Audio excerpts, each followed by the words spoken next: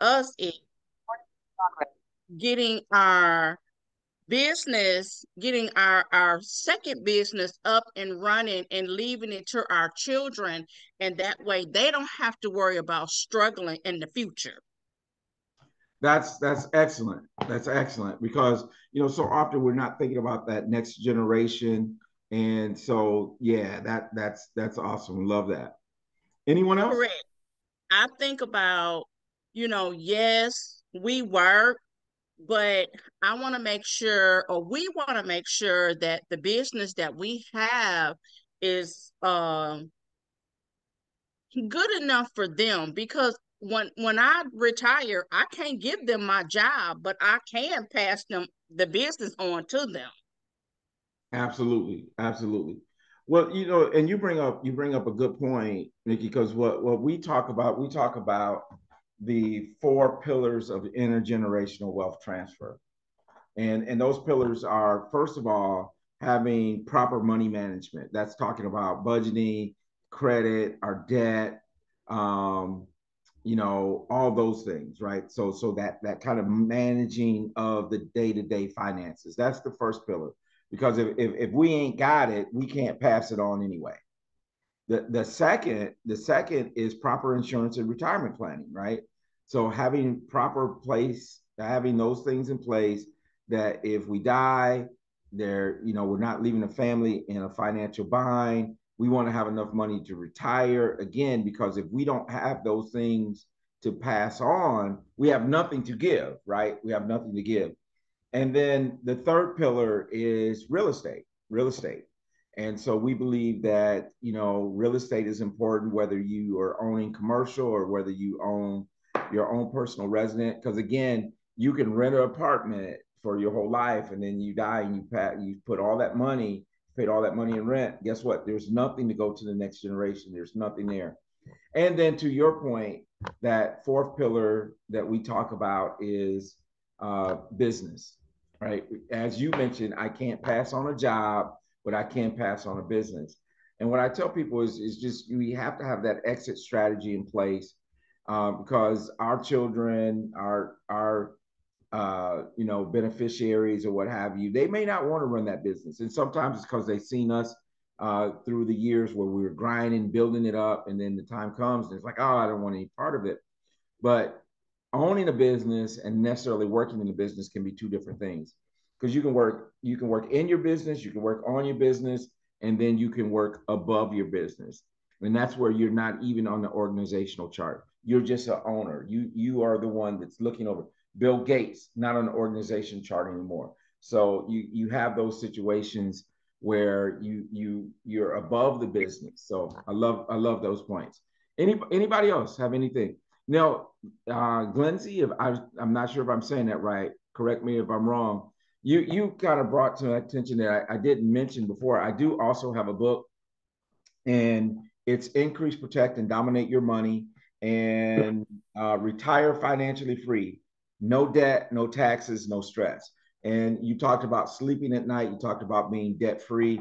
We believe that, that those are major components to uh, enjoying a healthy retirement and certainly uh, passing on generational wealth. Uh, anybody else before we kind of continue to move on.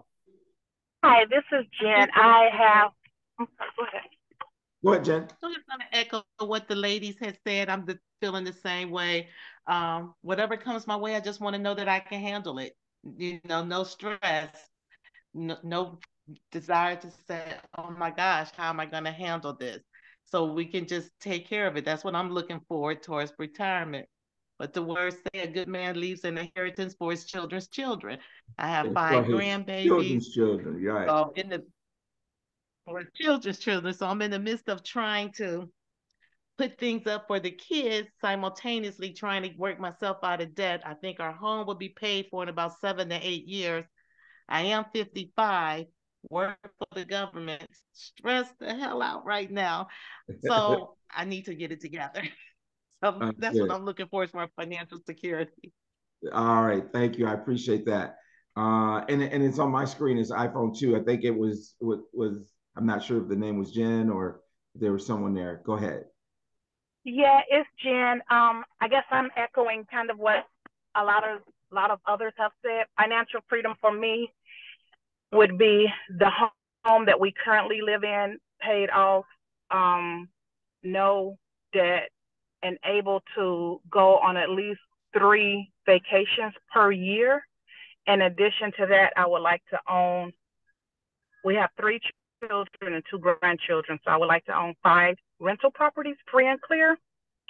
And at first, I thought these were far fetched until I realized that um, I can get those properties not where I live, but somewhere else where they're less expensive than where I live. Absolutely. Yet people are willing to pay a thousand to thirteen hundred dollars a month in rent, and those properties would I would like for those to be in our children, you know, leave to our children and grandchildren. If they want to go ahead and sell it or rent it or continue keeping it rented out, that would be fine. But at least they'll have that money coming in. So that to me is financial freedom, and those are the goals. I'm just trying. I'm trying and need help to see how I could go about doing that properly. Awesome. If that makes sense. That makes that makes perfect sense. Uh, all right. Thank you all for sharing. Thank you all for sharing. So let's, you know, one of the things that one of the risks that really concern people is this. Uh, one of the risks is outliving retirement funds, as we've talked about, and you know that's one of life's major risks. And you know that's the number one worry of retirees is that they're going to outlive their retirement funds. And so what we want to do is we've been alluding to you want to maintain your standard of living uh, you want to ensure a legacy for your family instead of debt. You want to protect your wealth. You want to create income for life. And when we think about retirement, that's really what we have to think about. We think about, we often talk about, um, you know, risk and and being diverse in our risk and that type of thing. And we could talk a little bit about that. I have I have um, you know a little part pre uh, pre prepared for us to talk about risk but it's not just risk of the stock market. It's just not risk of uh, you know losing our money. But you, you we had to diversify in a number of things. We got to diversify in the tax treatment because that's what I find a lot of people do. One of the major things um, that a lot of my retirees tell me is like, why am I paying so much in taxes in retirement? I thought I'd be less taxes, but I'm I'm paying more. The other thing is um, you know, that lifetime income. Because one of the things that we we we have to figure out how we're going to do if if if my portfolio is is mainly property, rental properties, how do I get the income out of the walls, right? If my income or my savings is wrapped up in my 401k, how do I get it out of the 401k in a way that I can ensure that it's not going to run out in my lifetime? So those are some of the things that we deal with in terms of how to protect yourself from those risks, untimely death, illnesses, those type of things, and outliving your your uh, retirement are some major things there. Now, here's here's the thing, and and I may want to switch over a little bit here. We got time. Um, is what if we could take the risk out of the traditional investing? Because one of the things that happens to a lot of people is that when uh, everything's going well, it's going well, right? But when the bottom falls out, the bottom falls out. And so we have a strategy. One of our major strategies is this is is how to be in a strategy that allows you for your money to go up when the market goes up, but when the market goes down, you don't lose any. So can you imagine if you could have your investment portfolio and eliminate all of the downturns, eliminate all of the, the losses in the market? that could be pretty major. Imagine how much more money you would have if you never had losses that you had to deal with. And it is possible. There's a strategy out there that allows you to do that. And many people are taking advantage of it. Um, and so, you know, I will go into that a little bit. Um, and let's see here. Uh, so finally, just a little bit again uh, about the education piece, right? So what we want to do is we want to educate people on, you know, how to protect themselves from financial crisis. You know, whether that's death, whether that's uh, sickness, whether that's the stock market crashing, uh, loss of jobs, those type of things. And then as it says, protect against market risk. Long term care. When we talk about retirement and we talk about generational wealth, needing long term care or nursing home care can be a major roadblock in leaving that. And I don't know if anyone on the call tonight has ever experienced the spend down process. If anybody on the call knows what I'm speaking of, spend down process, please unmute and share if anyone out there has experienced that. Go ahead. I thought I heard someone.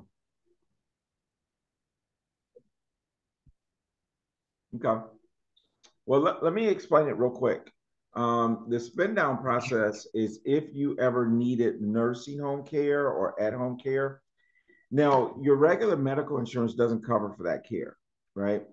And even when you get into retirement age, your Medicare uh, doesn't cover it. It only covers a small portion, maybe 90 days or something like that. And so what happens is that it it leaves many people to having to um, use Medicaid to cover those expenses. Well, the problem with the Medicaid, of course, is this: is that you got to spend down your assets first, your home, your retirement accounts. You got to spend all of your own assets. Uh, and technically, or the reality is that most states uh, will only allow you to have $2,000 in your checking account in order to be to qualify to have that care paid for. Um, that means selling that that family home, right? Some states will make you sell the home up front. Some states will let you keep the home, but then when that person who needs the care passes, you have to sell the home to pay them back. They have a lien on the home. And so it can be a pretty devastating process financially and so that's one of the things we want to show people how to avoid. Um, and if you've ever been through it, it's absolutely no fun, no fun at all. Emotionally, it's tough, right? Especially if it's a home that's been in your family for a number of years. Uh, the other thing is tax deferred growth. I mean, you can save yourself a lot of money by deferring taxes. Now, we're not um, we're not all sold out on the tax deferred growth because it is what it is. It's it's deferred, right? So you don't pay the taxes now, but you're going to pay the taxes later. And you know, we've fallen for that okey doke that we said, well, when I get in retirement, I'm going to be in a lower tax bracket. Well, I hope not to be, right? I hope I'm making the same amount of money or more than I'm making now. So I don't want to be in a lower tax bracket. And so that's a that's an important part. But when we combine those two together, tax deferred and tax advantage income, tax free income, um, now we're really kind of talking about where that can really increase your retirement, your savings by, you know, 30, 40%. And who knows what the tax bracket is going to be when we get to retirement. And again, we want to talk about supplementing your retirement, supplementing what you might have as a pension. Someone mentioned being a federal employee, so you have FERS, you have your annuity from the government, um, and then you supplement it with things like your TSP and those type of things. But how to utilize those things and uh, make it work for you, and then being flexible. Whatever we want to do, we want it to have flexibility in terms of our contribution and also our access to cash, and then leaving a legacy for the next generation. So um, let me just I'm actually going to stop sharing right here because uh, I do want to pull up a different presentation. Um, but let's entertain any questions that we might have at this point while I queue that up. Anyone have any questions, comments, like to share or ask as we continue?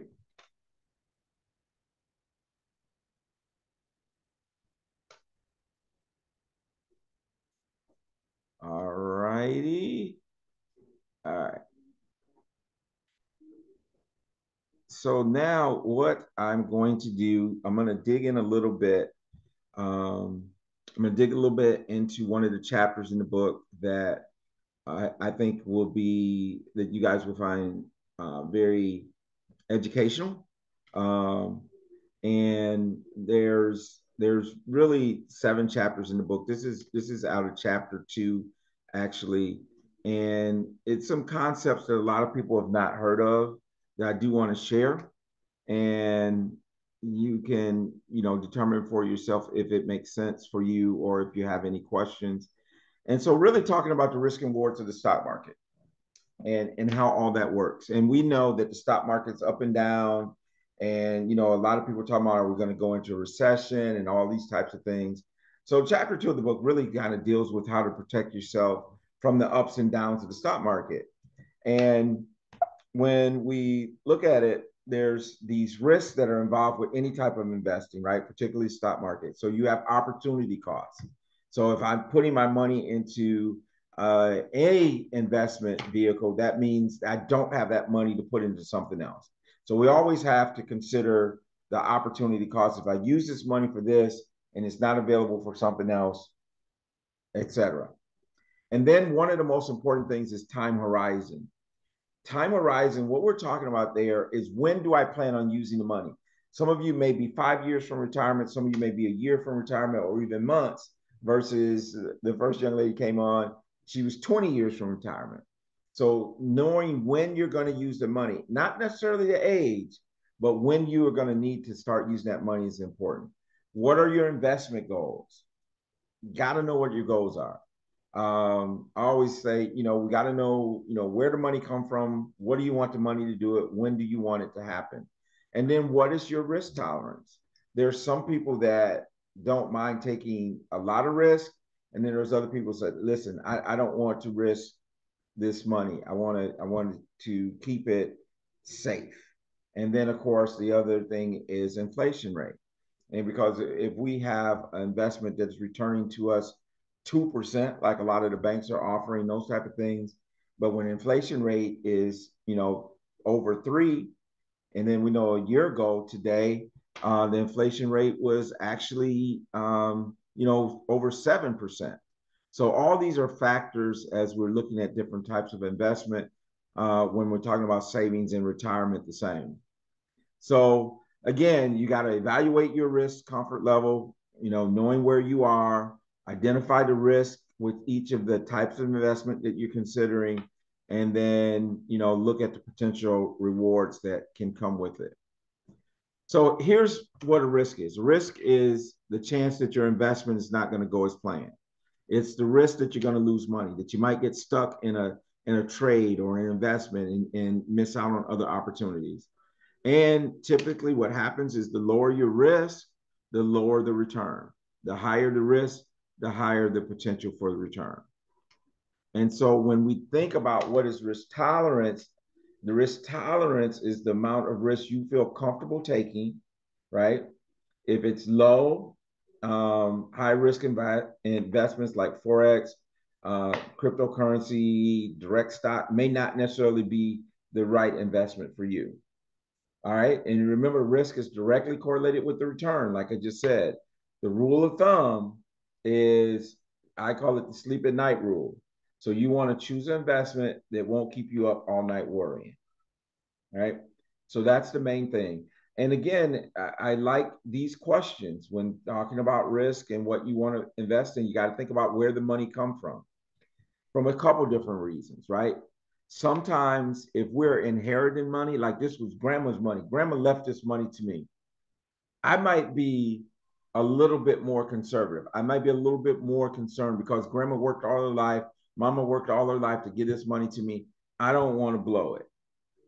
So I may be more conservative versus if I made this money from a side hustle, I won the lottery, or whatever the case may be. I may be a little bit more risky with things that, depending on where it came from. The other important thing is how do we treat it from a tax standpoint? Because if it's coming from a tax deferred, um, tax qualified plan like a 401k, TSP, uh, 403b, those type of things, uh, we got to know how to treat it based on where it came from. And then the second question is what do you want the money to do? What do you want the money to do? Do you want this money to live off of?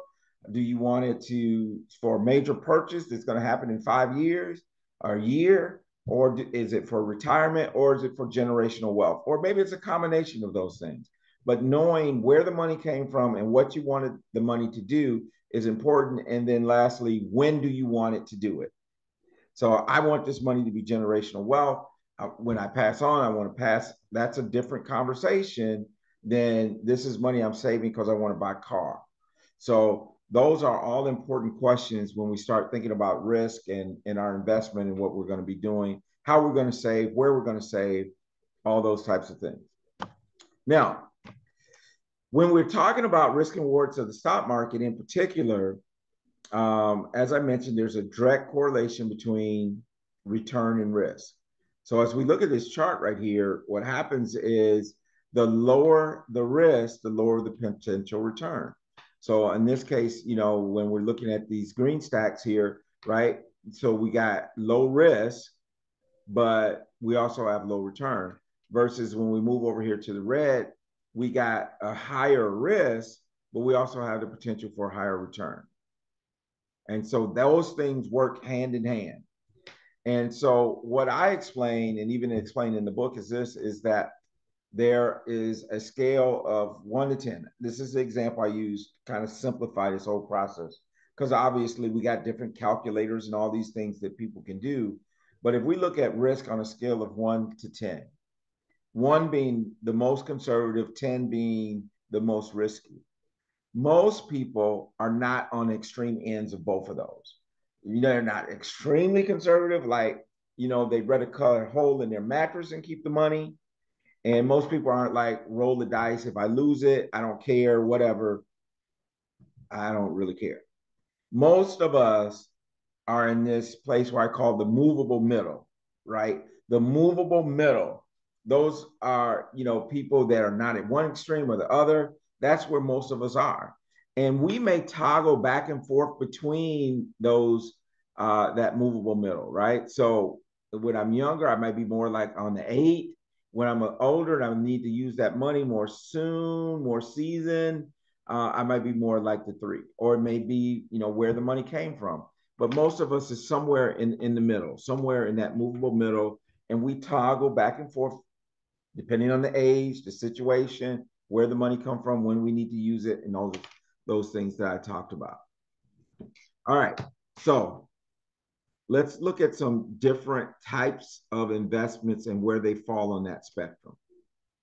So here we have, you know, high risk uh, items. And how this works when we're looking at this chart is the more conservative is to the right. So bonds is more conservative than stock. And so when we look at this, we're moving from low risk to higher risk as we move from um, right to left. If we move from yellow to red, we're going from less risk, less potential return to more risk. But all these items, stocks, mutual funds, variable annuities, um, bonds are all subject to market volatility, right? So if the market is volatile, things go up and down, you don't know, you know, what that looks like. And so that all those things are on that spectrum. So that's the spectrum where market volatility doesn't necessarily bother us. The far, far out I go, the more less bothered I am about, you know, things going up and down. And then on the other side, we have principal protection products. So these are the types of investments where I know my principal is not going to go anywhere. I might, in some cases, give up a higher return for the safety of knowing that my money, I'm not going to lose my principal. And again, going from the most conservative to the inside to the more aggressive going outside. So you got fixed, you got cash, CDs, uh, fixed annuities, and then fixed index annuities.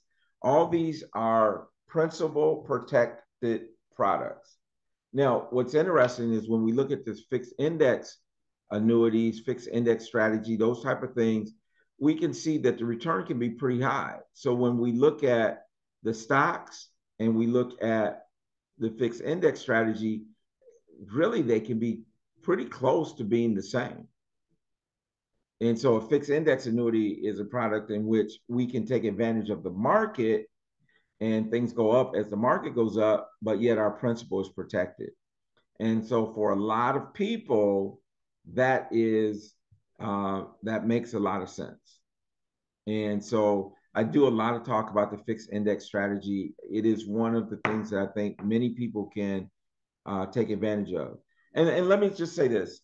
Um, and many of you've heard this, you've heard your grandmother say it, your mother say it. You never put all your eggs in one basket anyway, right? You never put all your eggs in one basket. And so um, that's how that works. And then, of course, um, you know, a lot of people are involved in, in cryptocurrency. It would be considered one of the riskier things like the stock. Cryptocurrencies, uh, whether we're talking Bitcoin or we're talking about other types of, of digital assets, that's where it would fall on that end. So let me let me pause. Any questions or any thoughts about that? And and and here's here's one question. What when when we think about this being a scale of one to ten, uh, put in the chat or come off mute if you want to share. Would you consider yourself? Uh, where would you consider yourself on that scale of one to ten? So if if, if I were to go back, uh, oh man, way back. Hang on. If I were to go back to this scale, uh, where would you put yourself? Would you put yourself as uh, put it in the chat if you don't mind. Put it in the chat. Would you consider yourself one, two, uh, nine, eight, or somewhere in the middle? It's always interesting to get an idea of where people see themselves. So for you, my for my retirement, it's kind of like at a seven since I have supposedly twenty more years. Right. Perfect. And and and and that's exactly um, what I was saying is that depends on where you are. And so we got some people that are saying, uh, we got, uh, all right, we got four, five, four, five, two, three, right? That's pretty conservative. And we got seven, six, seven, uh, and we got four, five, three, right? And so e- even as we're talking about that, um, you know, many of us are in that movable middle. That's where we are. So thank you for for doing that. So again, um, looking at that from a risk standpoint. And so when we start to look at this, we break it down a little bit, you know, stocks, mutual funds, um, those type of things. Again, you have a high potential for return. You have a high potential for um, for losses. So your risk is high, your return potential return is high. The, on the other end of the spectrum, bank account, money market accounts, those type of things, you have a very low risk, but you also your return is low. And then in the middle here, uh, a great product is the fixed index strategy, where now what happens is you're kind of getting the best of both worlds. You're getting the market when it goes up, but you have very low risk when the market goes down. And this is kind of a historical look at the S&P 500, which I'm a big fan of. And as you can see, the market goes up and down, but look at the trend. The trend is up. Um, but you know, we had we had three negative years in the early 2000s, um, 23% loss in 2002 in one year, and then 2008 the market crashed, lost 38% in one year. Um, and so this up and down doesn't feel real good. And if we were to put, play this on out into 2020, we see that it would start to be another, you know, another downturn. Uh, with the indexing strategy, what happens? Um, and the, the other thing here is how long it takes to recover, right? Because if we look at 1999, we got three negative years. It took eight years to get back to the market where it was in 99. We stayed there for about 16 months drops, takes another five years to get back. And so, and all of this, of course, was before this thing called COVID came along. Now, when we put in this indexing strategy, what happens is that you you avoid the roller coaster ride, right? So when the market goes up, you go up. Market goes down, you stay the same. So we get out here to 2007 and eight, the market drops, right? and you know by 38% you just stay right where you are market starts to go back up you start to go with it and the fact is that you don't have these big holes that you have to dig out of And so ultimately, in the long run, you know, that's gonna that's gonna play better for you. Um, so that's just kind of a, a, a just quick graph to reference. And uh, here's this guy, right? Warren Buffett. Warren Buffett to me is probably the goat of investing, right? So I know there's people who've made a lot of money, Jeff Bezos, others like that. Um, but as far as across the board investor, he's as good as they come. And he says that the number one rule in investing is to never lose money. Now, this is a guy that has billions and billions of dollars, right? So if he says he doesn't want to lose money, probably makes sense for us to kind of watch what we're doing as well. And and so when they asked him this, the reporter was like, okay, cool. So if that's your number one rule, makes sense. What's number two? And many of you may have heard this. He said the number two rule is to never forget rule number one. And so that's really kind of how we approach things. And and the reality is this is if you have safe money, uh, you can then be more effective with other money.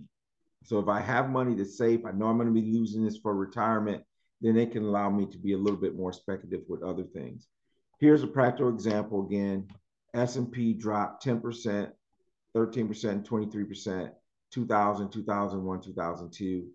And then with these indexing, these fixed indexing strategies, just showing a few of them there, zero. Because when the market goes down, you don't lose anything. 2008, the market drops 38% with the indexing strategies, you don't lose anything. And so if we look at this over a 20 year average, the S&P 500 actually averaged not not new money going in, but money that would have been sitting there during that 20 years averaged about a 4% return where we got 10.2 over here. And again, the reason this works is because you keep me out of the red. If you never lose money, if you never get behind on the scoreboard, then you don't have to you don't have to worry. Uh, you don't have to make up for the losses. You don't have to try to catch up in order to get ahead. So this is a concept that we use with quite a bit of the things that we do um, and that type of thing. So um, let me let me stop sharing here and um, just entertain any questions that anyone might have. I know we had a little earlier, we had some questions about Social Security, that type of thing. So um, let me just kind of answer that question for you in terms of Social Security, Monica. Um, what what I believe taking your your Social Security benefits at 62 can be very advantageous because here's my thing is if you wait to 67 to take your Social Security, you're gonna get fuller, you're gonna get more, but there's no guarantee that you know that you're gonna live or what the um, return is gonna be if they're gonna reduce the the the Social Security benefit. We we don't know. We don't know those things. So it is important, uh, I think, to look at all the circumstances. And if you could retire at 62 and take Social Security, that's great. And let, let me give you let me give you a Social Security hack real quick, especially uh-huh. for people who are married.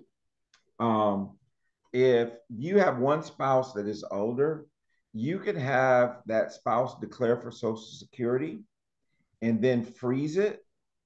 And then you can get a spousal benefit off of their Social Security, even though they froze theirs and it's going to continue to grow. And so okay. it's it's a method that a lot of people use to get Social Security benefits rolling earlier um, without necessarily, you know, taking your own benefit. So that that works in certain situations if you have a spouse that's older, um, that's over the Social Security age. So both of you have to be over 60. One would have to be over 62. And, and but that's a great hack to get some Social Security benefits without um, using your full benefit. Okay, uh, thank you. Absolutely. Let's see what else we got in. All right. Uh, how do you invest in those fixed index strategy? Is there a brokerage fee? Uh, normally, those are not a brokerage fee because fixed index strategy is going to be attached to uh, one or two products. It's going to be either attached to a life insurance product um, that's going to give you death benefit um, critical illness, chronic illness, all those types of things. Now, the only fee that you have is the cost of your insurance. So even though there's not a brokerage fee like you have with a mutual fund 12B1 fee, but what you're getting in exchange for your fee is the life insurance coverage. Um, if we're looking at annuity, uh, generally speaking, you're not going to have any fees depending on what um, what particular uh, choices that you make as far as investment strategies. Because within within the life insurance or the annuity, an annuity could be a Roth, it could be an IRA, it can be a 403b, it could be a number of things, right? That's the IRS code. But the investment vehicle, the fixed index annuity, inside of it, you'll have different choices. You might pick a S&P 500 index. You might pick um, one of the other indexes. Some of those indexes might have a small fee, might be 1% or half a percent or something like that. Generally speaking, I like the ones with no fees. All right. Any any other questions? Um, let's see.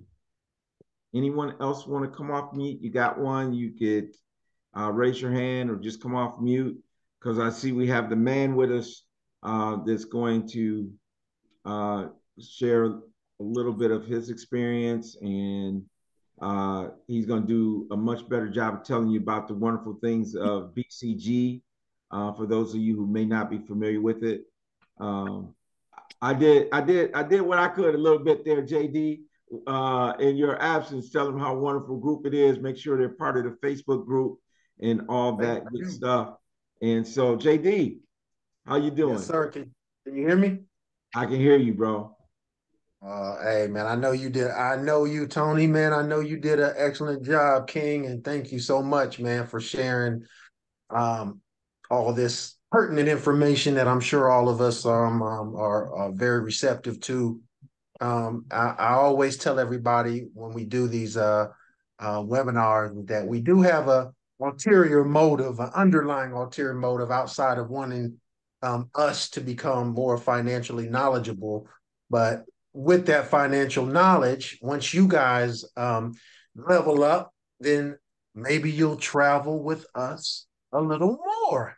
Or maybe you'll have so much money you'll bring your friends with you on a trip. You'll treat them to a trip. So but um no seriously um we really do um want uh, particularly um uh, our community to uh, increase the our our financial um, knowledge and capacity because as you all know many of us uh, grew up um, with uh, i know i did just grew up with parents who just didn't know um, didn't know these things. Um, I was talking to my mother the other day about the. Um, she, she kept telling me that how her, my grandmother always used to say, "Make sure you know, um, you guys get life insurance," and she had life insurance on all the kids and everything, and she kept it up so that when um, my grandmother passed, we weren't, you know, looking around for uh, the GoFundMe and we weren't asking people. My, you know, she had planned, she had planned accordingly. So, um, I just love the things that Tony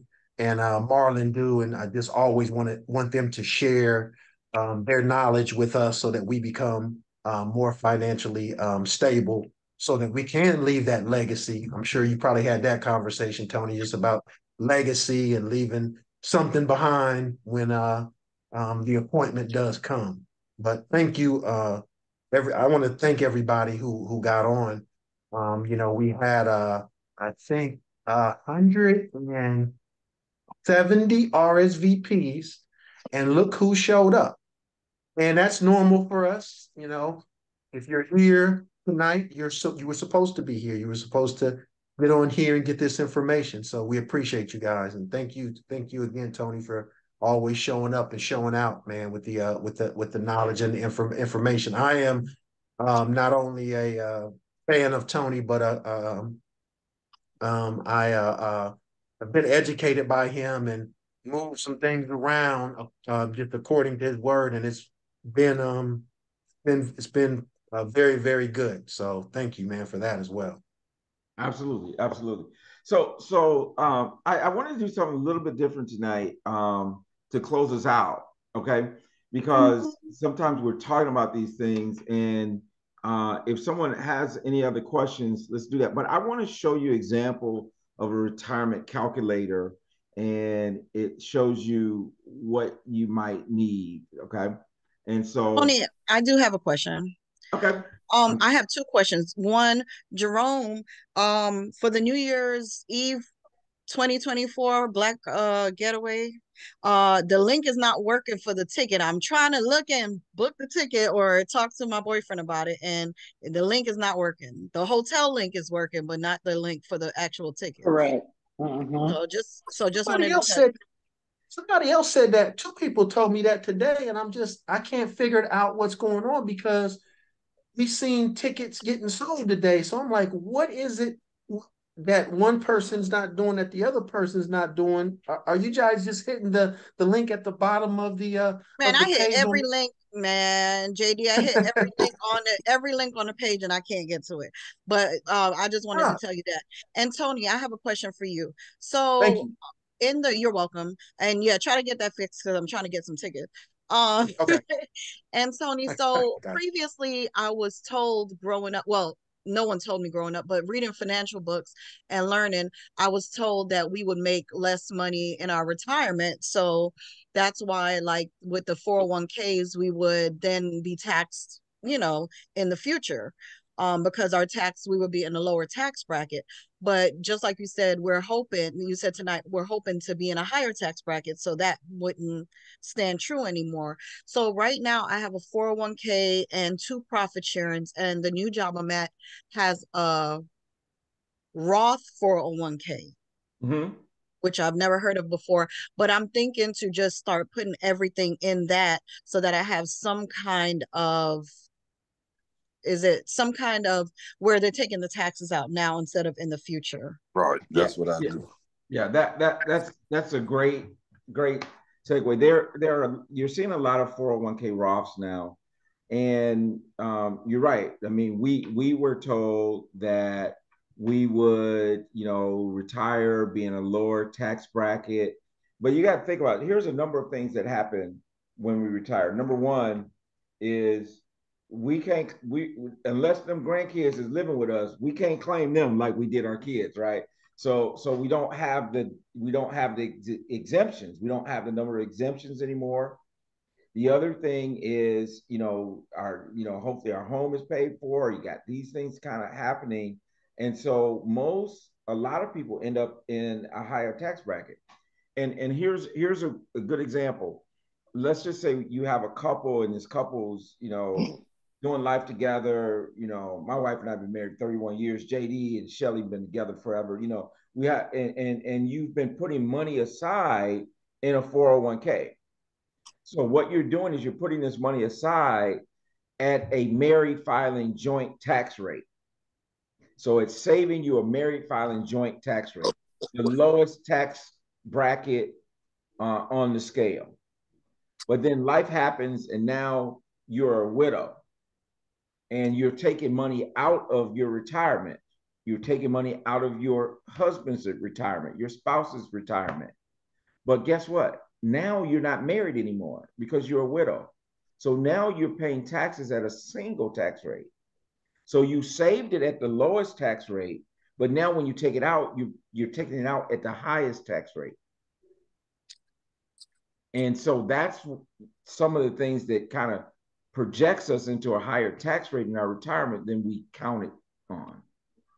And and so that's why doing things like the Roth, uh, we we offer Roths, doing things like the cash value life insurance, doing things like your 401k Roth are important because then you pull some of that money out of being taxed. The other thing is that conversation about Social Security again because if your taxable income, and it's called provisional income, is too high, like, and as a as a single person, it's about a mid thirty thousand a year. If it's over that amount, then up to eighty five percent of your Social Security benefits can be taxed. And so years ago, there was no taxes on your Social Security benefits, but now can you repeat that? Repeat that again. I'm sorry, the last part. Yeah. So if your income is over a certain amount, then up to 85% of your Social Security benefits can be taxed. And so uh, they tax you to get it and they tax it when they give it back to you. And so that stuff wasn't even in existence. There was no taxes on Social Security until the Reagan administration in the 80s. So now they're taxing your Social Security benefits when they give them back to you. Now, your income includes, for that calculation in particular, it includes any retirement income that you got other than tax free, right? So it even includes your Roth. Doesn't include life insurance, but does include Roth. It includes your 401k, your TSP. And also, they include in that income amount to determine if your Social Security is going to be taxable, a portion of your Social Security. So of your Social Security also goes into that calculation. It's it is as bad as it, I'm making it sound. It really is. So, um, but you know, those are the things that that we don't necessarily count on. And you got to think, you know, Roths haven't even been around that long, um, but you definitely want to take advantage of some of that stuff. And we can we can point you in the right direction. Um, now, the other thing I want to say, and I know I, I've gone on and on with this, but is when you start looking at doing a 401k Roth, you want to make sure because if you're getting matched funds, normally, normally, almost 100% of the time, I haven't seen it any other way.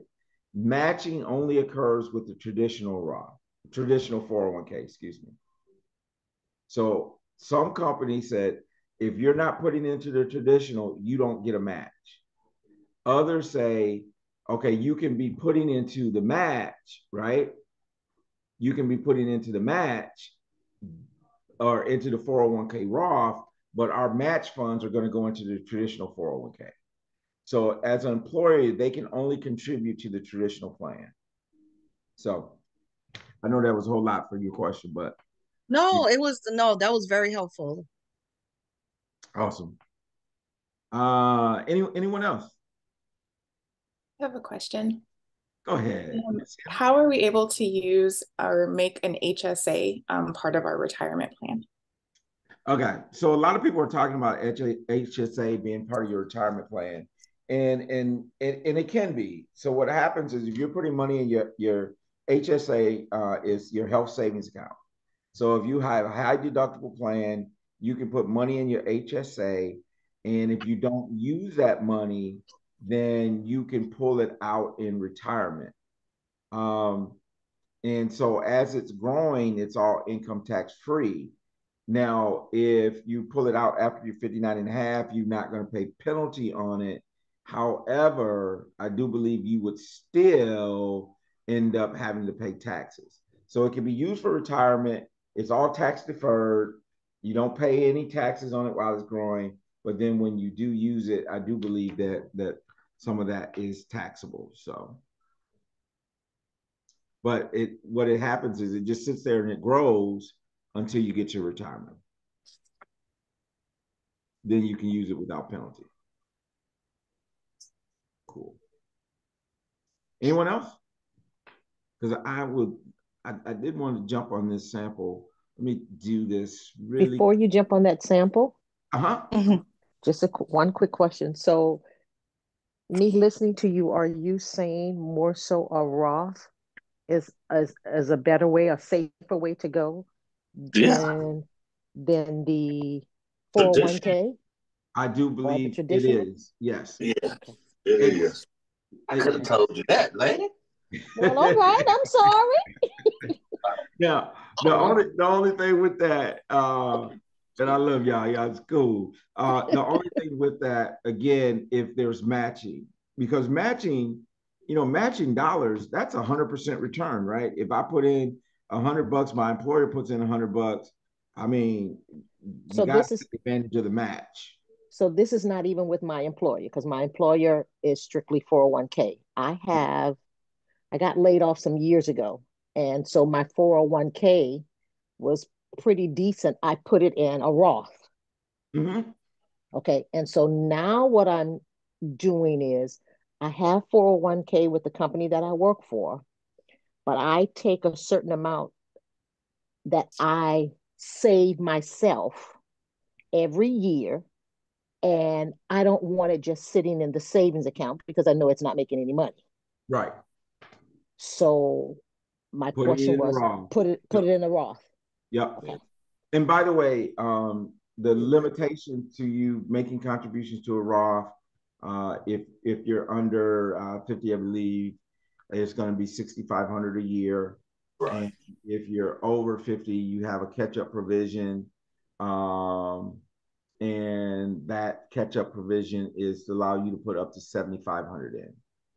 Uh, So metric, for the 7500. Yep. So you can put up to 7,500. Now, in order for the Roth to be tax-free, you know, you got to have it open for at least five years and you have to be 59 Right. and a half. So you have to meet both of those criteria. So 50, 59 and a half. And what's the other criteria? and you have to have had it open for at least five years. Open five years. Okay. I'm close to that. Okay. I appreciate it. Absolutely. I Um, got one over five year partner. What's that? All right. All right, got you. Hey, Metric asked about TSP investments, G fund, F fund, L fund. I, I do think the, the lifestyle funds that they do uh, in the TSP account is good. Um, uh, the G fund, uh, just the return is just so low. Um, and unfortunately, you know, that G fund is at the discretion of the president of Congress. So if they decide they want to use money out of that G fund, they could use it. And so, um, but I do like the lifestyle funds. You know, it's based on your age, and they'll tell you the mix that you should take. Um, but again, I'll, I'll tell you my opinion is only put up to your agency's match. The rest of the money you could be doing something else, cash value life insurance or or a retirement Roth or something, or even the even the the Roth TSP that you have available. So, um, so so I, I wanted to do just do this real quick calculator, just to kind of show you, um, you know how how it works in terms of determining your income. So I, I'm just going to plug in some numbers, right? Let's just say someone right now, uh, what's a good amount? Let's let's say this is a 50 year old JD. Let's say it's a 50 year old, uh, and they currently have how much in their account? What should I say, JD? 50, 100,000? You're muted.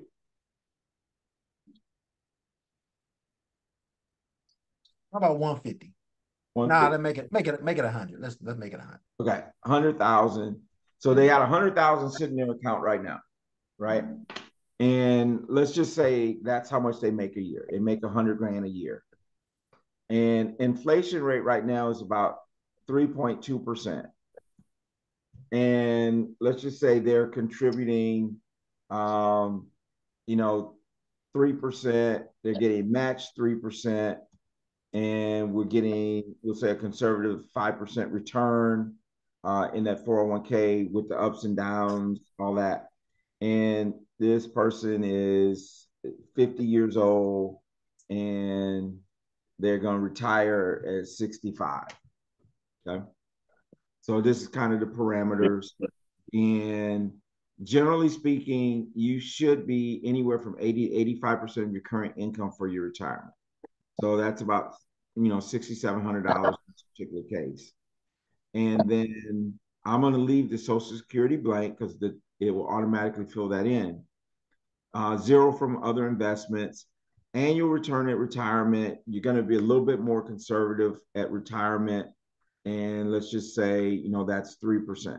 Because again, now you're in retirement, you don't want to put it in something that you might lose money. So this is just after retirement. And then how many years, if you retire at 65, how many years you want to still be kicking? I'm thinking 25 years, right? At least at least 20, 25. All right, 25 years. And let's just say you're going to be at the lowest tax bracket, 12%. So if we plug in these numbers and we hit calculate, um, this will tell us where we're at. So if a person has that hundred thousand, they're making a hundred thousand, they're they're putting money in, they're getting it matched, um, and they need six thousand. We'll just round that up, sixty-seven hundred dollars. Based on these calculations, they would be getting fifty-four hundred. So that means that they're going to be about twelve hundred dollars a month short in retirement. So what they need to do is they would need, if this person's 50 and they're going to retire at 65, they need to save additional $12,000 a year in order to be at that place for retirement. Now, we can do some things to help that by, you know, by doing things like the Roth, doing the cash value life insurance, doing some of these things. We can help that by you know, making having some of that income be tax free, right? So that'll help the situation. The other thing that will help the situation is if we're in something that we don't have the up and downs of the market, some of those things can help kind of close that gap of what this person would have. And so this is just an example, um, just to kind of show you a little bit of what what that might look like. Any thoughts, questions? Um, There's a question over in the chat. Okay. Uh, thanks, JD, because I didn't see it. Let me stop sharing so I can see the chat. All right, here we go. All right. Uh, I still see the same question about the TSP. Anything else? Okay. Oh, the TSP, you already answered that? Yeah, that's the one I answered. Oh, okay. Minutes ago. Yeah. So, okay, okay.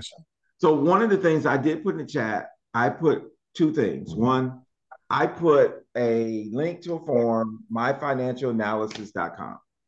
And basically, if you complete that form, um, I will complete a couple things for you um, free of charge.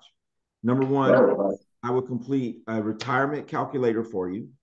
So you can see whether you're on time, uh, if you're short, how much you're short, those type of things. And then we could talk strategy that you could use at work or outside of work to kind of close that gap. The other report that you're going to get is you're going to get a debt elimination report. Because again, uh, I can't remember who mentioned it earlier, but you know, being debt free in retirement, it can be a beautiful thing because you got to think about it. Even if we look at even even if we look at at house, for example, if if you have a eighteen hundred dollar a month uh, house payment, you probably don't live in Atlanta, but or Charlotte. But if you have an eighteen hundred dollar house payment and it's gone when you retire, that creates eighteen hundred dollars of cash flow. Right. So, um, so being debt free. So what I will do is also put together a debt free um, worksheet for you that will show you how you can be debt free by the time you retire or close to that. And then the third thing is I always do uh, an analysis on how much life insurance you should have. Um, take it into account what you already have, um, because you know many people have enough; they don't need any more. Um, so we, I'll put together those three reports for you, and I also put a link to my calendar, ipadappointment.com. So if you want to um, schedule a free consultation with me um, to go over that information, or even if you have other questions that we didn't get to tonight, you can do it.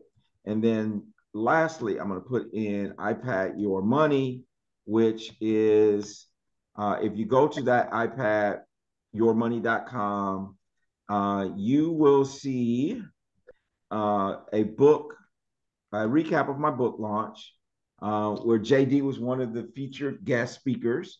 Um, so you'll see that there, but you'll also see where you can order um, order the book. And the book is 1995. I'm putting a code in the uh, in the chat as well. If you use that code iPad 50, you will actually save 50% off of that book.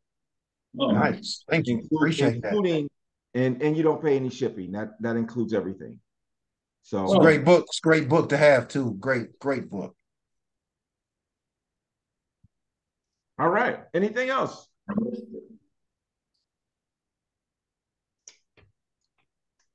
All right. I appreciate everybody uh, jumping on. Um, let's let's take advantage of those free reports and uh, let's go ahead and schedule. And um, I don't know, JD, this this is a good group tonight, man. Um, yeah, it will look like yeah, yeah, yeah, excellent. Yeah, so so I will send the recording, and and I'm sorry, I started the recording a few minutes late, but we got most of it. I'll, I'll start. I'll send the recording over to okay. Uh, yes, JD please. tomorrow, and he'll he'll send it out to everybody who registered, and yes. um, those of you who stuck it out to the end. How many how many people we still got on here? What, what Twenty five. Listen, twenty five people. Uh, the first 10 people that schedule appointment, you're gonna get yourself a gift card tonight. You're gonna get yourself how much? How much card. is the gift card? 20 $25 gift card for Amazon. You know that half smile shows at your house all the time anyway. So if you schedule tonight, uh the oh, first oh, man, thank you. first 12 people that schedule appointment, uh, we're gonna get you that gift card, right? We're gonna oh, get that's you love, man. Thank you, Tony. Huh? Tony, so Tony, we could so Tony, we could schedule the appointment before we do the financial analysis. Oh, absolutely, absolutely. Oh, okay. You can schedule an appointment now, and as a matter of fact, I would, so you could be in that first group. how many did you? How many did you say? I said first ten. First, first 10, 10. Okay. Yeah, now, now two, listen. That's two, two fifty. that's two fifty, right? Now you say Thank you, man. That's that's that's Listen, uh, that's that's great. Uh, that's awesome. that's two fifty, that that's open till ten o'clock. if you if you schedule after ten o'clock tonight, that ain't gonna happen. All right. So, uh, Monica, uh, I don't know. We need to talk about it. I mean, we we have to see. We see how the numbers play out. Um, you you you might be able to. And and, and one of the things you mentioned, Monica, was this. You said I might have to get me a little part time gig, right? And so yes. you know that that a lot of people do that, but you know I'd rather retire and work part time than than on the grind. You know, just depends on what you do and how bad you want it and all that good stuff. So right, right, all right, okay, awesome, awesome. Hey Tony, Um, thank you so much. Thank you so much again. Um, I want to I want to make sure we do it again. Uh, probably let this uh Thanksgiving and Christmas kind of get past us, but uh, come first of the year, um, I'd like to you know get back on this and see if we can get another. I know you got a lot of knowledge in a lot of areas. I think this is good, but uh, definitely would love to have you back again. Awesome, man. You know I love doing it. So it ain't nothing for me. Let's just put it on the calendar. Let's make it happen. And so thank you everybody for taking time Thank you out. guys. Thank you everybody for attending. Have a great night. Be safe out there. Thank you, guys. All right. God bless everybody. Thank you. Appreciate Thank it. you. Have a Bye-bye. happy Thanksgiving. Happy Thanksgiving. Thanksgiving happy. Thank you. Don't eat too much. Hey, I, I'm I'm I'm gonna see what we got. All right. Take care.